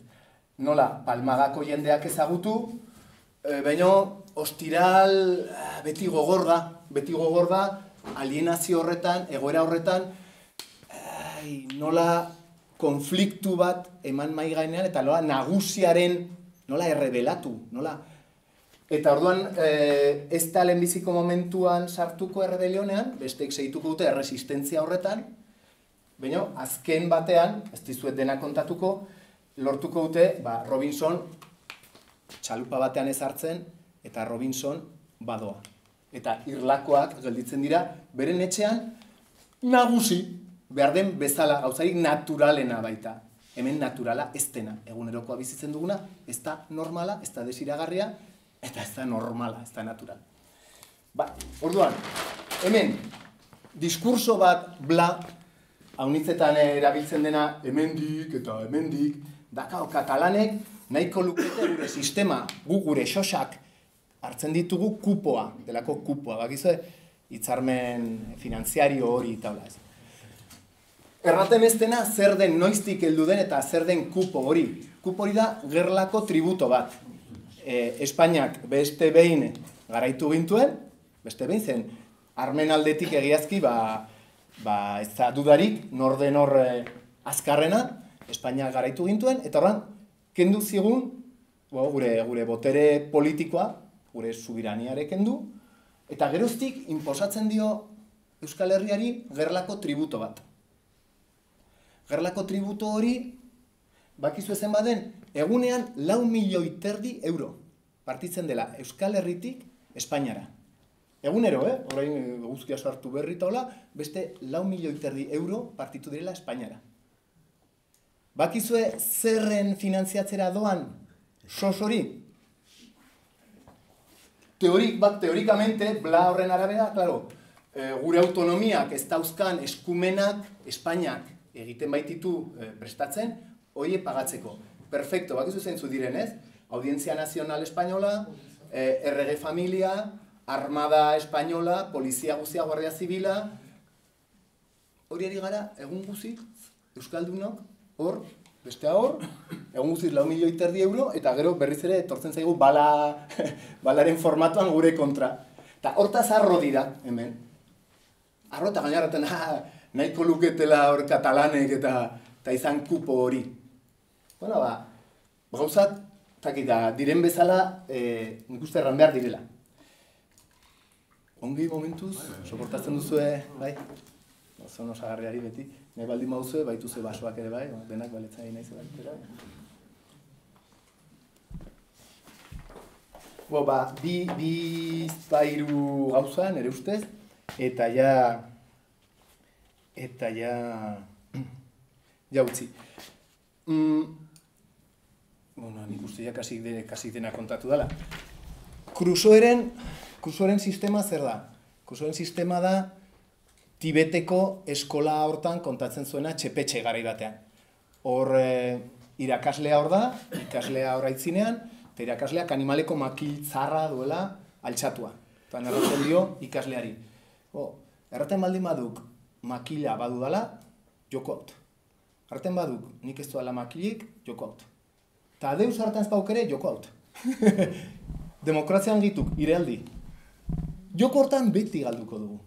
Beti bilduko dugu kopeta gainean animaleko makilka da. Beti. Hoi da planteatzen dena. Deitzen dutela bozetara, hauteskundeta taula? Ez joan. Erresistentzia egin, ez joan. De- e, erakutsi munduari hau ez dela demokrazia bat. Zer egin genezake? Bai, ba, lau milioi horiek, ba, uko egin, eta ez pagatu zergarik, horrek ze ekartzen du, ondorio penal, ez dakiz, Mio, bozkatzea momentuz libre da. Bozkatzea edo ez bozkatzea libre da. Orduan, momentu batez, Euskal Herriak lortzen baldin badu, abstentzio bat, nazioartean erakusteko manerako arteko ez ez, guk ez dugu parte hartzen, e, kabiliarrek egiten duen bezala Argelian. Argeliako konstituzioa ez da beren, beren konstituzioa, ez dute parte hartzen, normal. Eta nazioartean erraten diote, ez ez ez hori Argeliarren gauza da, gurea ez da. Hemen planteatzen dena da, indarra bildu, gobernu behin-behineko bat osatu, duela urte batzuk behar bada etzen baldintzarik ematen, etzen jendea prestaturik ez, oraiko egunean bada, bada mugimendu bat, bada gobernu behin-behineko bat montatu. Eta erran, ez, nik eskene gobernuak erraten dit, ez du dala, ez du dala bozkatu behar, ez du bozkatzen, eta ikusi, eta resistentzia hortan antolatu. E, napalme bomba txiki bagota dut, eta, eta, eta gero ja ze heldu den bueltan. Bo, baina, utzuzuz bi minutuz ikusiko. e, nere ustez, nere ustez, Katalunia, edo Korsikan, Korsikan agerian gelditu dena da, kapitulo batek hemen izena du, eh, naiz horitzen exactamente, no, Crusoeren bide, Crusoeren bide legalak, guretako bide letalak. Erran nahi baita, mm, Frantziak uzten dituen bideak, Espainiak uzten dituen bideak, ez dire guretako, beren, beren bideak ego izaten aldira. Zer gelditu da oso argi korsikan, populu hitza, populu, pentsa, populu kors, populu ez dutela baliatzen ahal. Peuple bakarra dela frantsesa. E, eta Frantziako konstituzioa dekitzen baldin bauzue, ez zuen komendatzen, nio lehenbiziko artikoa bigarrenean, erraten du, soberania nazionala populu, popularen gainean dela. Espainiako konstituzioan gauza bera. Horregatik, atxagak, erraten du, ez ez gu ez gara herri bat, gu gizarte bat gara. Hori, ardantzaren garaitik eta modan eman zen hitz bat, herriari kontra egiteko. Eskerra guk Euskal Herria badula deitura, eta oso argi daukagu. Guk botere militarrik ez dugu, mio, botere, botere badugu errateko, ez ez ez bat gara. Bat gara, Euskal Herria biztan dena herri bat dela, eta herri, herri gisa baduela deretxori bere subiraniarako. Gizarte bat zer da? Hi, hi, ni, bihar etorriko den turista bat, etzi ezaizer, gizarteak, gizartea ez da subjektu politiko bat. Herri bat bai. Eta hori Frantziak horregatik populu hitza ez zion hartu. Egoiliarren zera, estatutua, hori ere ez. Pentsa ze arma azkarra den migrazioa. Sekulako arma azkarra. Kanakian eta Euskal Herrian. Taleku guztietan. Katalunian, badakizue farsa bat antolatutela espainol batzuk, errateko, hau tabarnia da, tabarnia da, zeren ciudadanos oso boto espainolista undia baitu. Ze eskualde da, inmigrazio ikaragarria undia daukana, espainol guztiak, bueno, hau nintzabit joanak lanera. Tabarnia, inmigrazioa arma ikaragarria da. Ikaragarria da. Irungo arbitroak, bueno, demostratu du, eh, mediateka hortan etorri den frantximant eh, horrek ere demostratzen du, tabarniak, Horregatik, korsikari utzi zirriku hori kontrolatzeko bere migrazioa? Ez, hori ez. Espainian ze pasatu da Kataluniarekin. Nere ustez, momentu jakin batean, herri batek, pensatu baldin badu, emanzipazioa joan behar duela, momentu batez, gainditu beharko du legeria. Legeria gaina ez da gurea. Legeria guk bai bagenela gurea. Foruaren arabera, Nafarroa, eh, erraten du, Nafarroako herri zaharra bat da eta ez da zatikatzen ahal. No, zatikatu egin zuten, gu bagenu gure legeria. Hauen legerian arabera, estatu batuek edo lehengo kolonia horiek ezpalukete bazterrean eman izan Inglaterrako konstituzioa bere momentuan, ez ziren estatu batuak izan eraiko egunean. Momentu jakin batean, egin behar da, planto, egin behar da, paso, egin behar da, gainditu legeri hori. Katalunian nire ustez ze pasatu da, saiatu direla, saiatu direla Robinson Crusoeren bide legal posible guztiak kurritzen. Guztiak. Guztiak, guztiak, txintxo, txintxo. Ezin da? Osa, imperialismoarekin ezin da, imperialismoa zigortua dago nazioartean, imperialismoa dena bortizkeria, bortxa, ezin da, txintxo segitu imperialismoaren bidea, ezin da. Katalanek segitute, bigarren gauzanetako nik hemen planteatzen ez dudana, edo planteatzen dudan beste manera batez. Iztegia edo mintzatzeko manera edola. Hemen lehenbiziko momentutik hasi kartzen zuten sezesioa. Sezesioari eskubidea, sezesioa zer da? Sezesioa da osotasun batetik bereiztea, parte bat kentzea, omeleta bat baliz bezala. Guretako da liberazio bat, guretako da herri batek konkistatu egin dituna, bi herri konkistatu egin gaitu zela, bortxaz, eta gurea dela liberazio bat, e, ez dugu inoren gandi separatu behar. Gu ez da separatista, gu unionista gara, irlako jendearen artean, eta bizi nahi duen guztiarekin, Mio, gu etxean nagusi. Horran, hainbeste baita demokrazia, demokrazia, demokrazia posiblerik ere ez da. Hori, Benito Lertxun diren beste esaldi bat, beste aipu bat biziki polita da, demokrazia eta herri menderatua da olioa eta ura bezala, ezin da. Baldin bada demokrazia, ez da herri menderaturik. Baldin bada herri menderatua, ez da demokrazia posiblerik. Orduan, hori nire ustez, beren bidea, e, bizik interesante alde haunitzetatik, nire ustez bi gauza horiek Crusoeren bideak azken momentu arte e, segitzea eta segitzea eta segitzea, eta gero definizioak beraiek ere, nire ustez, oi, gure esku dago eskatzen duena, ah, demokrazia gehiago eta parte hartzaile eta la, ez da demokrazia kontua, da injustizia bat, hemen injustizia ikaragarri bat ematen ari da, azken luze honetan, eta, beira, Espainiako ministro batek, PPkoa, errantzuen, gauza bat oso polita, nire ustez, Kataliniaren kontra, bueno, behin edo izaten aldu inspirazio bat, dola urte, Espainiako kanpo ministro batek. Ari zela, nazioartari kontatzen, katalanek ez dutela deustarako derecho hori, ze estin ditu Espainiaren gandik, diskurso horretan, sekulan ez dira deus izan, deus izanen, ugabe, ez da... Bueno. Orduan, hori pixkate zeratzeko, hori gehitzeko beste argumento bat horri, errantzuen bueno, saiatuko naiz itzulpen farsante bat egiten, bestela espainolez ulertzen duzue? Bai. Bai, ez. Bueno, ala ere, saiatuko naiz. Autodeterminazioen e, prinsipioa, e, nazio batuetan aitortua, olako, olako artikulotan, olako artikulo artikulotan, hori aplikatzen da prozesu deskolonizatzailean. Bueno, nire ustez, bete-betean sartzen gara, baina ez palitzere erraten du. Hortik kanpo, bakarrik hiru kasutan ematen alda. Konkistaren bidez anexionaturiko herrietan. E, menperakuntza edo okupazio arrotzak, gu, edo herri zanpatuak eta beren eskubideak bortxatuak. Perfectamente, gaitugu, a ber, ez badugu egiten dakit zer garen. Baina, Pepeko ministro espainol batek ematen digu argumentorik ederren arrata, gure buruari azteko, eta nazioarteari ere segitzeko. Gero, zaila izanen dela nik planteatzen dudan bidea izugarri zaila.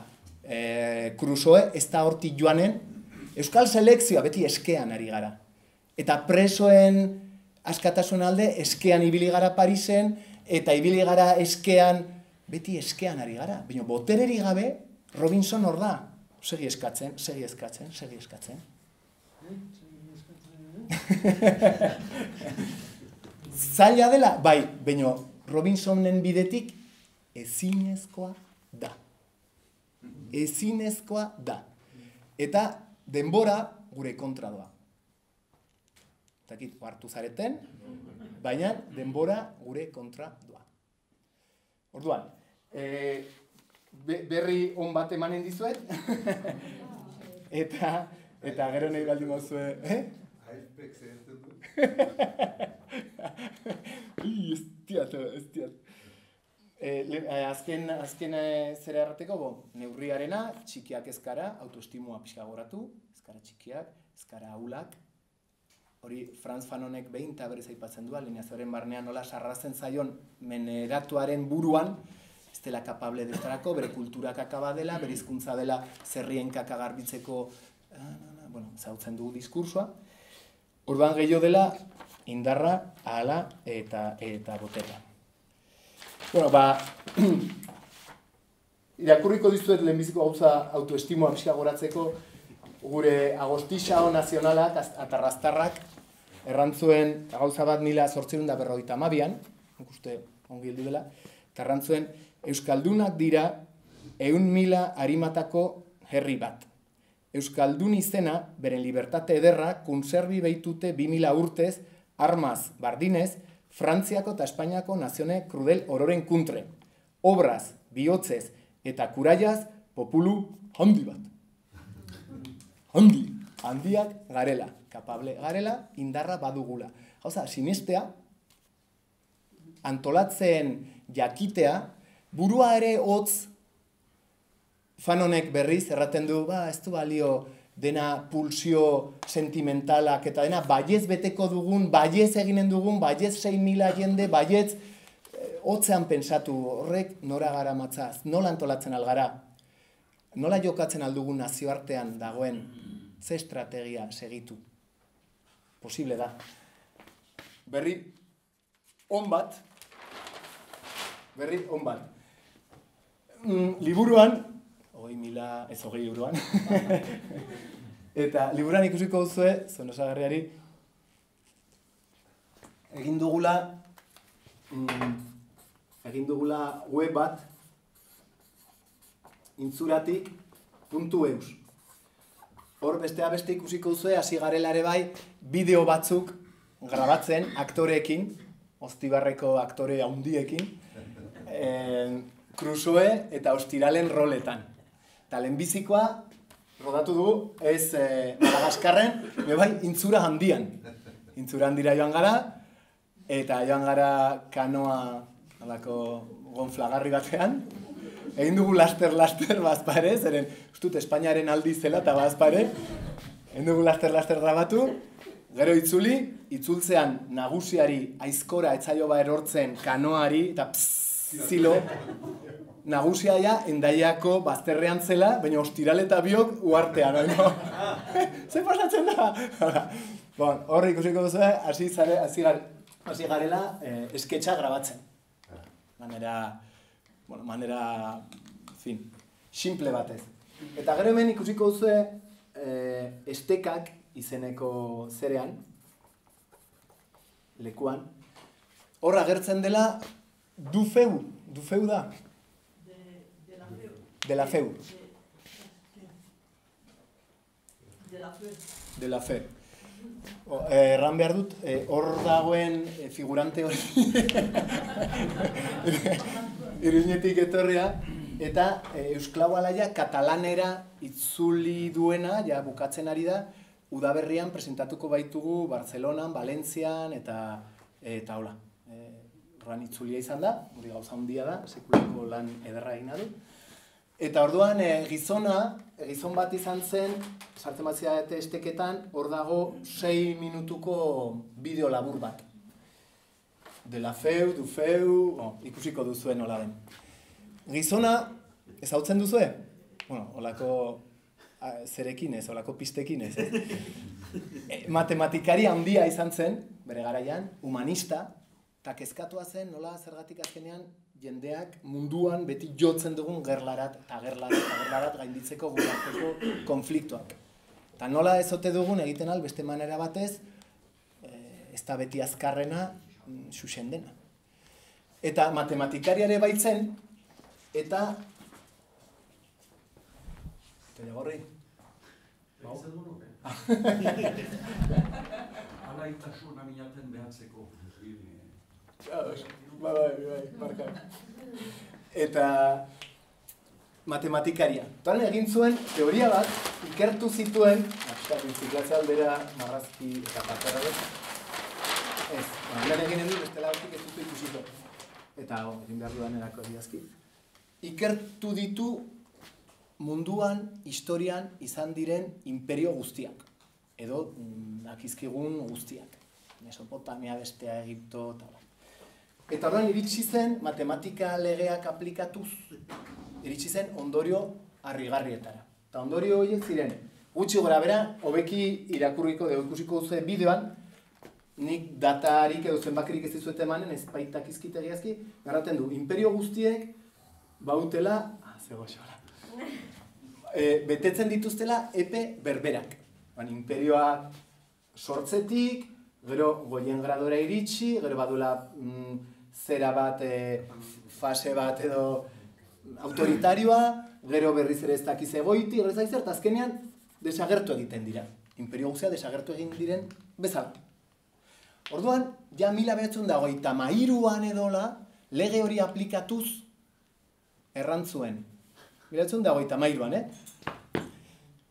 Larogei garren, mila behatzen da, larogei garren amarkadan, Soviet batasuna erori eginen da, bi Alemaniek bat eginik. Hai ba, mila behatzen da, larogei eta bederatzean, Bu- bukaeran errantzuen gainera. Errantzuen, ba, hori nekien. Murrua, Berlin ezaki zer, bum, agur, soiz batasuna.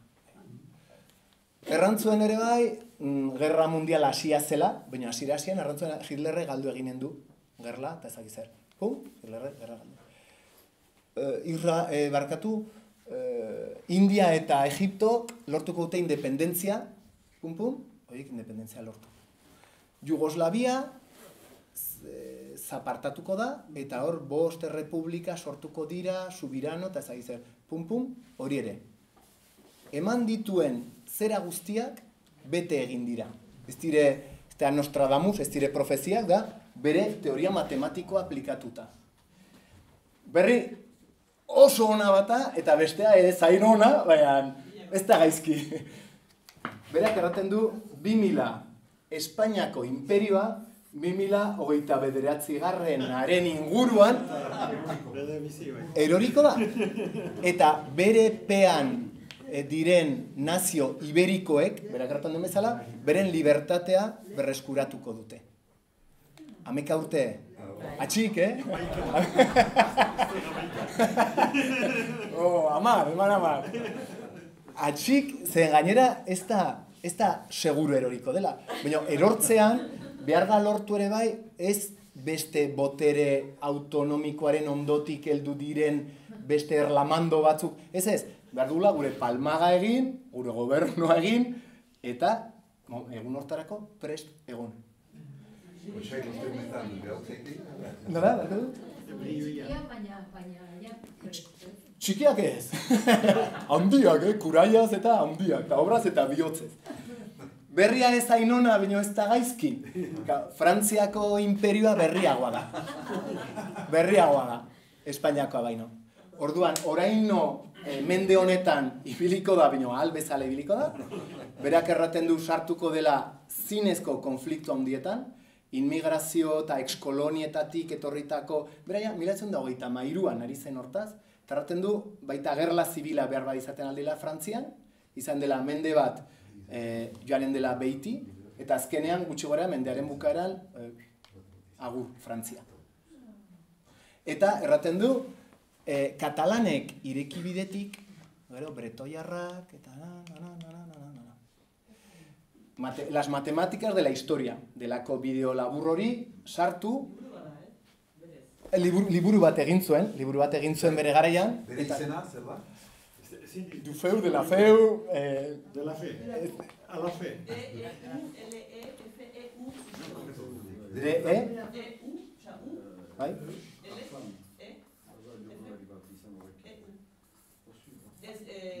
De la fe,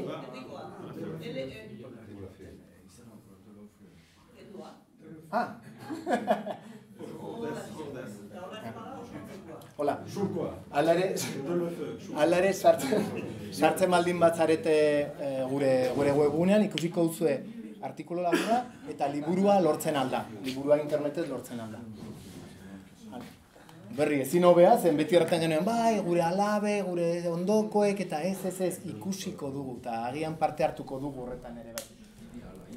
E, eta gero erraten du oso datu importante ere bai, Alemania izanen dela oraino arbitroa bi mendez. Europan, ba, bino, komen zaigu urbiltzea, eh? komen zaigu Alemaniarren adiskide egiten hastea. Ikase Alemaniera, aekan euskara, eta gero Alemaniera, Alemaniategian. Ba, hola, hoi da oso berri ona, eta... eta Txina? Eh, e, aipatzen dik eh, Argentina bai izanen dela hor eh, indar bat, egoaldeko munduan, eta Txina, India gehiago nik uste, eh? India gehiago. Eta Amerikak, estatu batuek, hartuko dutela bide bat autoritarismoa, bera, buruz, arrisko handia autoritarismoan eta erortzeko. Ah, Ari gaituk ikuste ja lehenbiziko, lehenbiziko putarrak. Zer mundu bat Txina jartzartuko delarik, edo mundua ikaratuko da. Bai, gero matematiketan ja ez dakiten, nik uste India, India bai, India goiti, Txina ez dakit, harintzen txinera ikasten.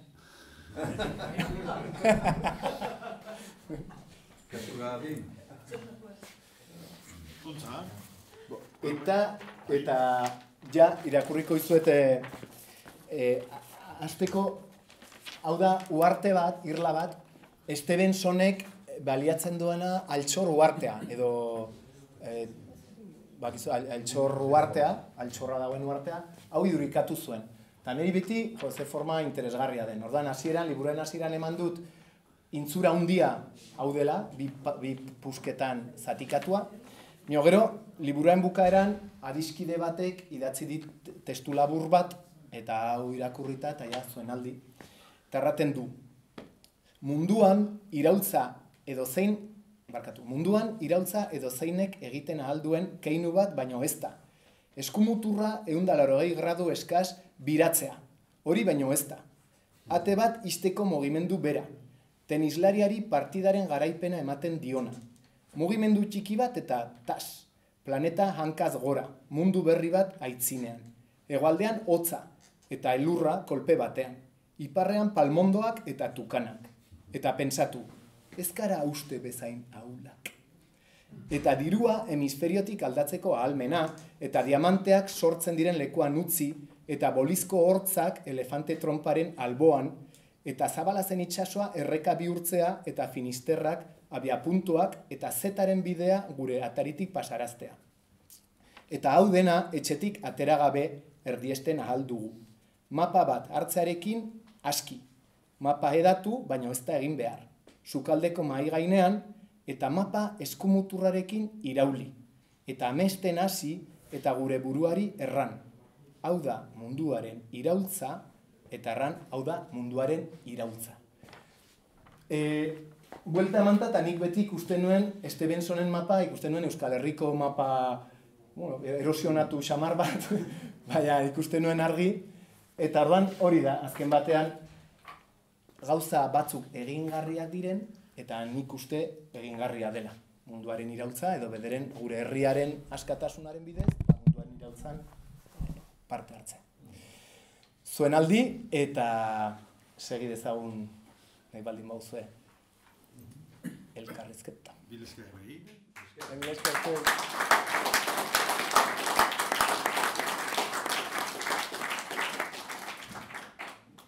Hore, bali bada galderaik edo, hori da, posibilitatea bada, edo harrik ere. E, Hai, ni batek sendi, esklabo senditzen nu, baina alaia ez, eh? Tituluak behaz. Mm, perfecto. dut da titulua, bai. Bai, Titula- Otoik. titulua du. Biziki eskolatia, eh, baina behaz. Tranquil, ni la, olako, olako gauza kontatzeko hemen hauk. Mm, nondik hasi, katalan batek idatzi zuen opera bat. Kunella izeneko katalan batek idatzi zuen opera bat espainolez, eta izena eman zion Los Esclavos Felices. Eh? Esklabo alegerak edo esklabo urosak edo e, kasualitatea edo ez kasualitatea, gero opera hori bi euskal herritarrek musikatu egin dute bakotxa bere aldian. Bata izan zen Nafarroako herriberakoa eta beste Bilbotarra. Arriaga, bakizue Bilbo nolagoen antzokia handi hori, Krisostomo Arriaga. Horrek zuen musikatu. Eta esklabo, los esclavos felices eman zion izena. Urtetan ene adiskide batek erraten zuen, nola Euskaldunok ez dugula himno nazionalik? Badugu, los esclavos felices, arriagarena. Badugu kupoa, badugu txuletoia, badugu eh, piper eh, feria, badugu, jo, hiru hiru erakunde baditugu, eh? Baionan eta bestea, eta hola. Alaia gara, esklaboa gara, baina ez gara ohartzen, edo ez dugu hartu nahi, esklaboa garela. Eh, normala da, evoluzioa da, pues, euskara galtzea, euskara... eta orduan, Hortatik, da, bera, bera etorri zen gero gak txipia, ba, eusklabo alaiak. Eta hori dain zuzen ere, nire ustez, ba, hasiera batean, ostiral konten da. Oso konten da. Hasiera batean, ene komikian, zugarri konten da. Konpainia badu, badu bizia argitzen dion universal, nagusi, bat, ondoan, sekulako privilegioa eta hola, badu konten da, esklaboa da eta konten da. Ez da hartzen ez da esklaboa denik ere, ez baitu besterik ezagutu izan. Eta etxetan transmititu izan dena. Erran bezala hizkuntza, hori, ez, ez, hori tale. Eh, Pentsatzen bat belaunaldiz, ari garela, hau, eh, gure bizkartzakoa kargatzen. Ez. Orduan, momentu batez, behintzat, eh, ohartuko da esklabutzaz, edo ohartuko da, ba, alaia ez dela. Eta hori dire, bo, untan abia puntu batzuk, abiatze batzuk. E, esklabo baldin baiz eta ez baiz alaia, zer eginen duk? Bo, bizitzen alaiz horrekin, bizi guztian, posible du, jende askok egin duen bezala, egiten alduk ez transmititu euskara seme alabei, beste askok egiten duen bezala, e, bueno, Franz Fanonek oso ongi esplikatua duena, edo egiten alduk erreboltatu. Erreboltatze horrek ze, ze bideak hartzen dituen, hainitz, posiblea Robinsonek markatzen dituenak, e, gure ustez inutilak direnak, erran dezagun, inutilak, erran dut, e, Robinsonen dako ongi direna eta guretako denbora pasatzeko bai. Edo, izaten alda, erresistentzia bat eta estrategia propio baten e, barnean. Beti ere, ez, du dudari, ez du dudari. Ez du dudari. Eni, eni duritzat, uh, eskualerien historia hartzemaena da. Hizkuntzaina, uh, Europako hizkuntzai zaharrena, Euskara. Uh, gu esklabo izan gira, fe, eskualuna esklabo izan gira, eh, zure teoria segituz, tidanik. Eta hizkuntza beti, galtz, galtzen ari bari bada momentu beti sabatu dugu. Ni pentsatzen dut, esklabo izanik ere, esklaboak beti atxemaiten ditu atera bide batzu. Eta, badira, eh, pase historiko batzu, esklaboek badakite, ez dutela aski indarrik parrikoen, eh, eh, ez dira joko bidean txartzen ahal. Eta esklaboek atxemaiten dituzte atera bide batzu. Bestia bona, bilo bilakatzen da. Zamaitan. Eta berdin, eskola, kakutxean artean, eh, salbatu harima dago arte, berdin, badu, baduke, hor, eskualdunek zerbait atxeman dutela. Uh, eta eskualegia hartzen mani da zure osteko filma azte horrek gertzen du, uh, eskuala galdu dugula treina sartu delarik. Hori teoria, uh, kanpotik egiten dienek dutela, gara azten. Hori, uh, bon, ulertzen alden gauza bata, baina eskualegian anitz uh, uh, demora pasera anitzetan, jendia pasatu den, kolonizatuak izan gira, erran duzun zara, jendia jendira, eta eskora alarre salbatu da. Hor bada, ez dakit, uh, noguentek uh, gako hori nola esplikatzen alduen. Uh, ni, ni zure zu presentatu oso hori, bon, biziki interesantak egiten dute, uh, orokorria. Na, uh, ta, men, memento median, uste dut, uh, bai, um, nola erran, atera bide anitz badugula egun, egun guztako gauzetan egun guztitako gauzetan, uh, baina behar dira, uh, parrikoen, parrikoen kontrako joko median txartzen mani bagira, ez gira, ez dugu atera bideek, pentsatzen dute, horreko riaguna. Zomaitaliz harekin lan behar da egin. Hartzen mani bada beste fase bat guai. bigarren eh, munduko gerla izan da, erresiste- erresistentziak izan dira, Jean-Baptiste Txarrek atea du, liburu bat, uh, Donibane Garraziko eskuadertan nola pasatu ziren. Da, anitz, berak gerten du, anitz jende, bai, uh, uh, alemanek ilan untsa ziren. Eta egunaz ekilan untsa, untsa familiatiak, eta gero atxetan pasatzen duzten juduak eta mugaz bestetik. Gara nahi du, erresistentziak ere badu, Horako, abilezia hori behar da, izan, nunbait, irabazteko. Mhm. Hala, hori, hori nahi ben egan, uh, Perfectamente. Oso ongi, eh? Eta, ja, lehenbiziko gauza, ez, resistentziaren eh, egiazki izan dena, eta eta mito nazionala ere bai. Erran dut, joan den egunean gazteizen izana, gazteizen hola dagoen hor Antramari Zuriaren plazan animaleko monumentu bat a la independencia de España. Hor, Napoleonen kontrako gerla nola espainolek irabazi baitzuten, bueno, beste beste inglesak sartu zelako, portugesak eta dena, eta azkenean Napoleon fueratu. Horran, irabazi baitzuten, eratu dute hor mito nazional bat, independentzia gerla izan dela, ura.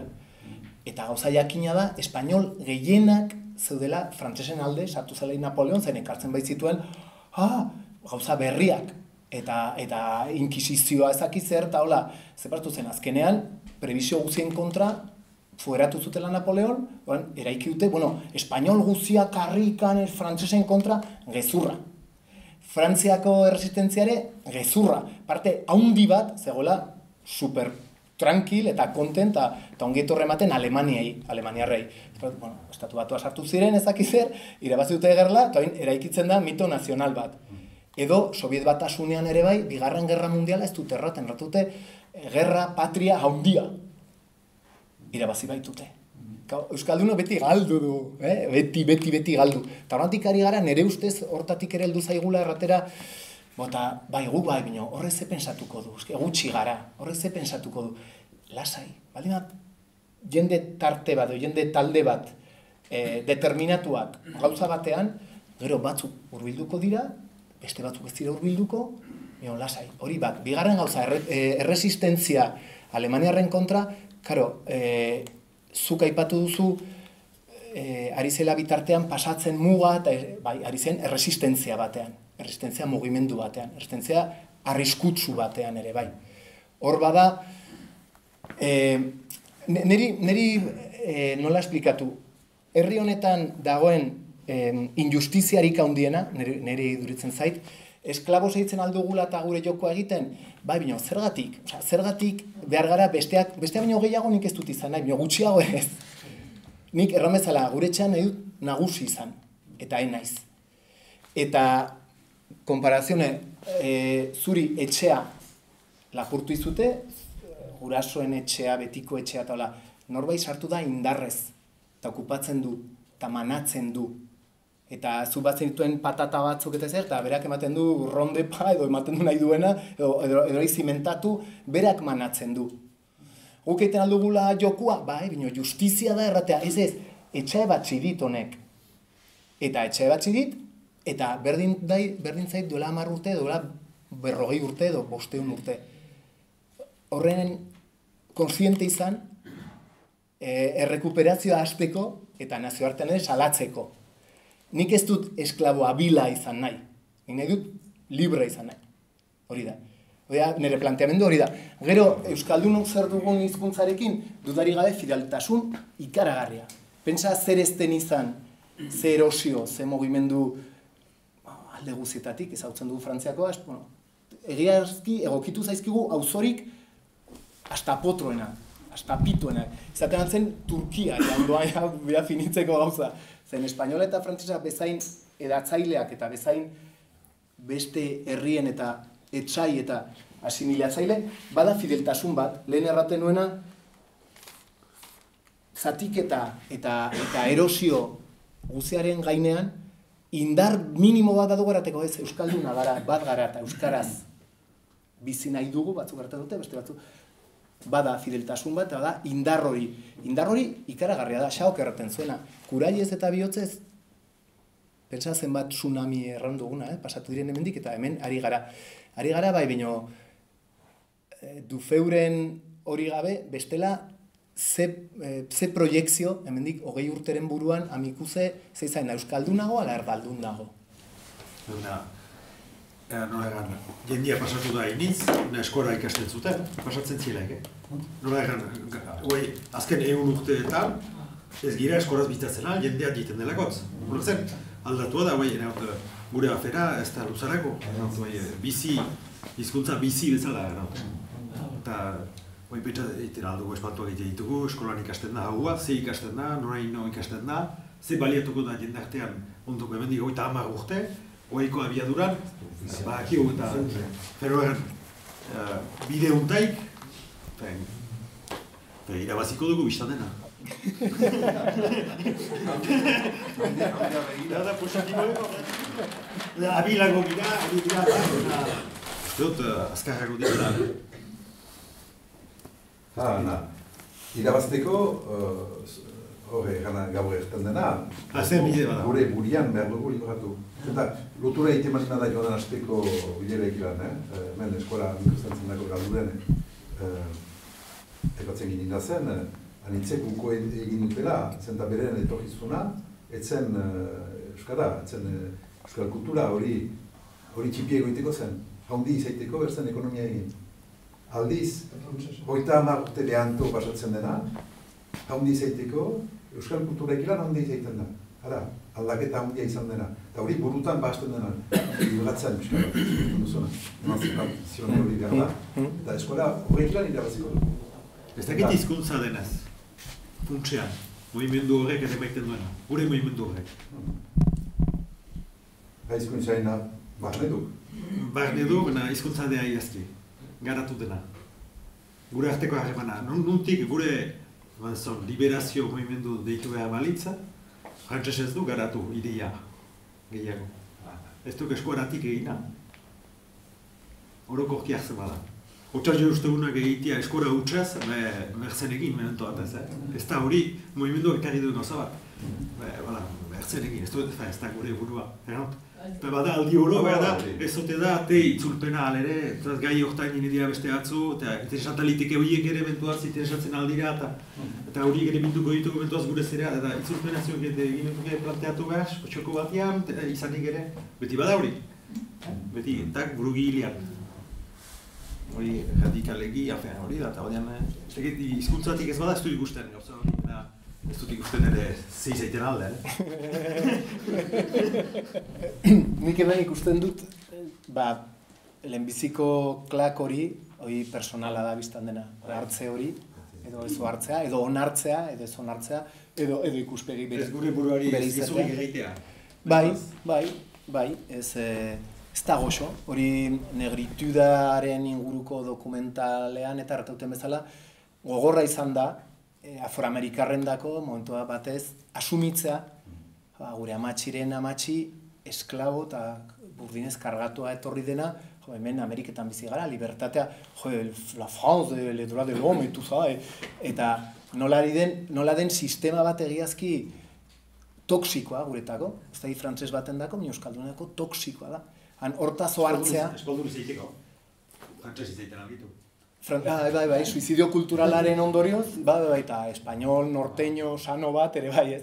Baina, hoi da, suizidio kulturala asumituz, edo ez asumituz, ez. Orduan, lehenbizikoa ez da goxoa, ez da goxoa, eh, ez da goxoa inundik ere, eh, lo, lo horretatik edo, edo eh, ateratzea, ohartzea. Eta konfrontaz, konfrontazioa asumitzea. Eta hor alaren nik ikusten dut, eta konfirmatu nahu, eh, gabaldi honek, egiazki denok, eh, ni lehena, eta nola erran, eh, herri, herri okupatu batean ikuste konfliktuak, barne konfliktuak eta kontraerranak eta eta buruna asketak eta hola, areagotzen direla. Honekin zeran dut, ematen aldu berriz ere gailua, hiru irudi erakusteko labur-labur, horri oso bat, Espainiako bandera ikaragarria handia, gat txipiarekin, e, bo, nik alabari esplikatu behar izan diot nortzen Franco. Franco, ikusten bauzu irudia, agertzen da, gizon personifikatu bat, e, bera, zen bezalakoa, gutxi gora bera, ez da armaturik, ez da, ez da gertzen hor hil zituen hainbeste hainbeste jende zanpakatu zuen, ez, iduri aitatxi, bueno, potolo xamar bat, goxoa, militarra zer den ere, jo, ba, nire alabendako, pues, bueno, urdinez besti, San Ferminetako pasarekin, ez ez, ba, Franco, hau eta aura eta aura izan zen. Bueno,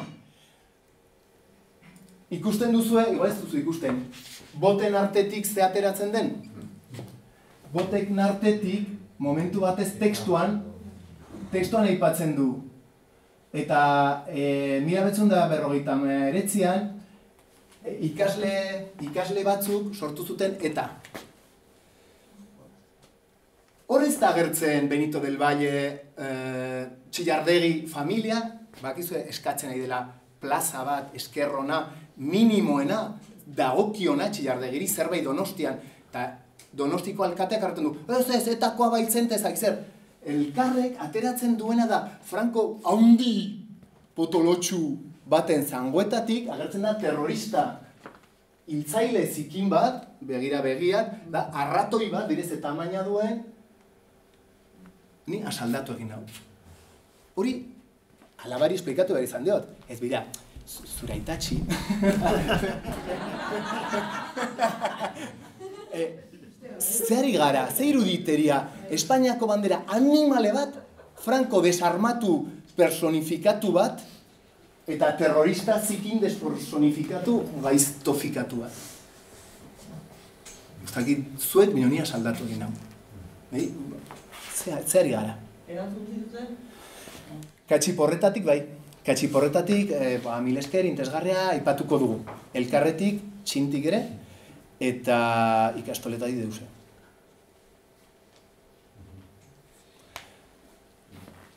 Hori, ni aurra abandonatu bat sentitzen naiz, alakoetan. Ikustean, eskuina bertzaleak, ba, bueno, gaitula sekulan defenditu izan, ezkera bertzalean nik nire, nire burua ikusten nuen, ba nola lekua hortan, baina nik uste Kataluniako Kataluniako prozesuaren ondotik, nola Principat, gero Valencia, gero Illes, orduan, ezkera bertzaleak erraten du, bai, bai ez, bai ez, eh, onartuko ditugu erakundeak. Eta gure eskudako gauk antolatuko du gizakate bat eben hiru probintzietan. Eta igual hiru errepublika egin ditu eta bakotxa bere, bere ritmoan. Ni aurra abandonatu bat sentitzen naiz hor. Eta hau ikusten dudalari, aur abandonatu asaldatu bat. Horregatik, bapatean ikusi nuelari gure berriak mintzo errotik erradikal bat, errateko beste, beste bide bat. E, ni hortan e, nire burua suskribitu dut, horregatik guztia. Iz batean zuritzen zaizu hori. Hori, ateratzen baldin badu Espainiako polizien ministerioak, bueno, ba, beste bat, bota beste bat, bota beste bat. Euskaraz, eh, guk akomplejatu baino gehiago, bai, bai, bai, baino gehiago. Beste gauza bat, hemen, diskurso ofiziala, e, diskurso botereak, erraten baldin badu, bi silaba duen iz bat, kasu, mesfidatu. Elebitasuna, fuera, oi, gure kontra da. Gari baten hartzen ziguten, en cristiano, en cristiano, por favor. Eta hain narratu dute, elebis mesedes. Elebis mesedes, es que el euskera no está. Bueno, Baina, elebitasuna farsa bada. Elebitasuna, bo, ba, herrian dugun elkartean, Euskaldunak, beti, bueno, bak, eguzeren elebita, elebitasuna, farsa. Bizikidetza, beste farsa bat. Bizikidetza bain modan eman den, gari batean zen bakea, horreia bakea desagertu da. Baina bizikidetza, bizikidetza. Gaizki. Eh? Violentzia, hori. Beste bat, alde bikotasuna, urkulluk eta beti rendikatzen dute ezkera bertzaleak orai. Alde bikotasuna, Espainiarekin berdineti berdinera. Berdineti berdinera ez da hemen. Ez bizitza ez kidetza, ez da, ez da posiblea. Eta liburaren bukaeran, e, batek errantzian, joan egunean, bueno, matxinek errantzian agitatzailean intzela, e, unaiturriagak errantzuen panfleto politikoa dela, bai bai asumitzen dut, eta errantzian gero happy end bat duela. Bai, erran bezala merexi dugulako, merexi dugulako, ja gartxotena handa, gure oraina orai da, gure oraina da, gure geroaren aurre historia, hobetuko da nahi baldin badu. Eta horren bukaeran, happy end horretan eman dut Nelson Mandelaren diskursoaren parte bat, kartzelati gero presidentziara iritsi zenean.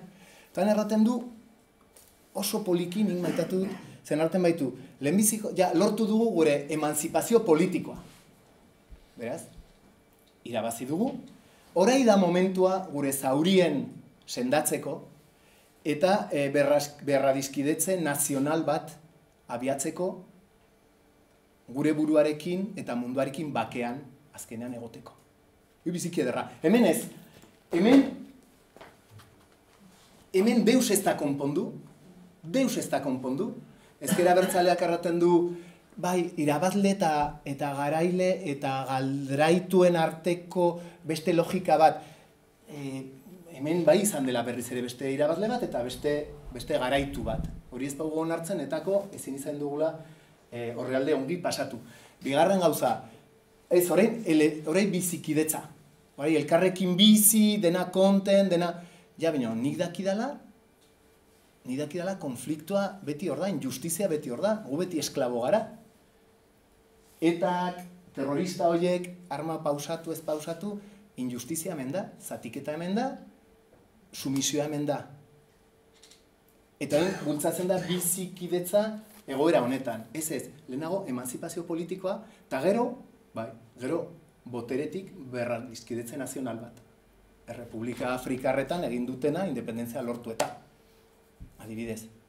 Hori ere, interesgarria da aldebikotasuna erraten denean, eta erraten dutena, ba, bai, berdinetik berdinera. Vale. Errepublika Afrikarretan lortu zituzten eskumenak, independentzia eta gero, Frantziatik bi labeten buruan gutxi gora bera, bueno, ba, botereak, e, botereak pasatu, eskuz, eta hori Hemen, berrogei urte, gure potolotxu hori hildela, berrogei urte eta monarkia borbonikoan bizi garela, eta falta dire berrogei eskumen pasatzeko Espainiatik gazteizera, eta goita bost Espainiatik Nafarrora. Pisa egiten digute begiziloan, eta ez dugu ohartu nahi, ez dugu onartu nahi. Hoi falta dira, eta ezkera bertzaleak hartzen du, ba, bai, egin dezagun egutegi bat, transferentzia zentzu falta diren, eta noizko. Eh? Baina, zuek etzaten erraten duela hogei urte estatutu ahila zela, zela deustarako aurra abandonatu bat sentitzen naiz. Kontsolatuko dugu saagano xortalean, ez? Hori bede galitzen zauko. Eta, bobe, bilesker azizko. Bilesker zuei.